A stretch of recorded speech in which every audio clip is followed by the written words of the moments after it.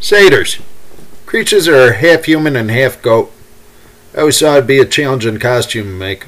Been procrastinating for years, but this year I finally kicked myself in the butt and made that costume. I made two versions of this costume, the male and the female version. What follows is an overview on how those legs were made and my ideas on how to make them comfortable and balanced and still look functional. Also, it was my first time working with Worbla. Everything I learned to get started came from online tips and tutorials, so this is just my way of putting it back up there so that people after me have an easier time of making a bigger and better project in the future. Why a satyr costume? Well, you see, all through history, the women flocked to the satyr, knowing that he was a god of love. And, whoa, hey, hey!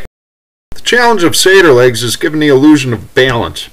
In order to be believable, the rule of thumb I would use is always keep your knee joint centered over your hoof so that the weight transfer appears to be realistic. If you allow the front of the hoof to stick out further than the knee, then you're always going to give the appearance of falling over backwards. Now this person had the right idea creating that extended knee joint using tape, but I'll be damned if I know how they got out of their costume. Or you can just stuff the crap out of your favorite pajamas and hop off to the furry convention. On my costume I used armor to add mass to my upper thigh while extending my knee further out over the hoof, giving that illusion of balance. Unlike other costumes, I don't have to stand on my toes. I'm standing flat-footed inside a comfortable pair of boots.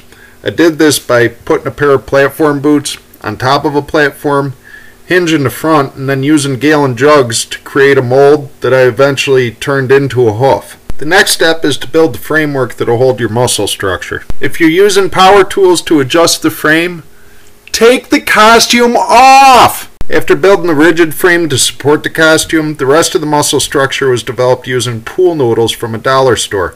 Don't get expensive when building costumes like this. Dollar stores are your friend. The next step is applying Worbla to the muscle structure. If done properly, the Worbla as it drapes from foam muscle to foam muscle will give the exact appearance of skin. Now get your painting skills ready. You're going to lay down your base color and then be familiar with what a wash and a dry brush technique are if you're not using an airbrush. These all add to the realism of your creation. And then lastly, apply the hair. I used long wig hair that I bought on eBay to hide what was left of my leg. And then that got blended down to a shorter hair and then what was left of the painted muscle structure.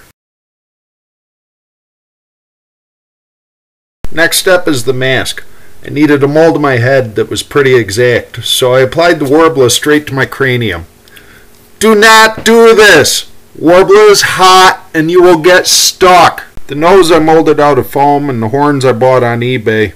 All of them are attached using Worbla and then the mask was finished off, detailed, and ready for paint. There was a point where I inhaled too much paint, caught mad cow disease, and then I kept painting. Same as the legs, a combination of long hair and short hair finished the mask off and then it was ready to wear.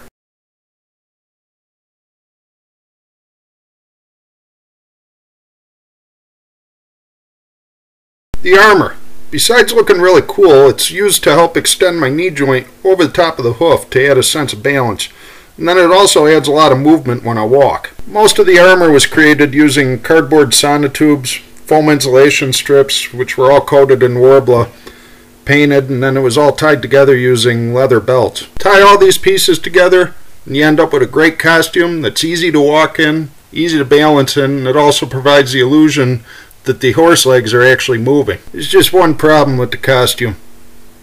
After all those sketches and plans depicting a satyr, the uh, costume evolved too large, and now I realized I became a minotaur. But as long as interspecies dating doesn't upset you too much, let's look at my girlfriend's satyr costume. It's a more finely proportioned version of the minotaur. These legs are a little easier to make. Not needing the same massive height and muscle that were on my legs, I chose to attach the hoof directly to a platform boot.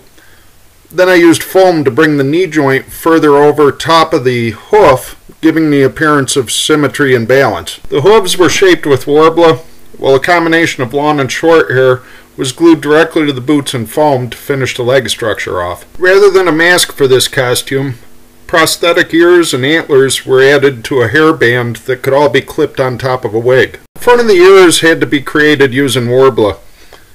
One of my favorite tools for fine detail work is this electrical rework unit. It has a miniature heat gun and a heated stylus, both of them with adjustable temperatures. I use them to remove seams or draw fine detail onto my project. Even though the headpiece may work on my girlfriend, I do have to say it looks way finer on me. The armor for this costume consists of bracers that were made from Worbla and foam, and then a uh, leg harness made from belting that helps to obscure the line between where the human and the satyr legs meet. The armored chest piece was made from a combination of cutting a bra up and adding Worbla. And once everything's tied together, you end up with a great costume that gives the illusion of satyr legs. So that's all the tips that I can pass on to you at this time. Uh, my suggestion, keep all your materials lightweight. It'll cut down on fatigue. Remember everything I said about the angles. And definitely get out there and enjoy your projects. The end.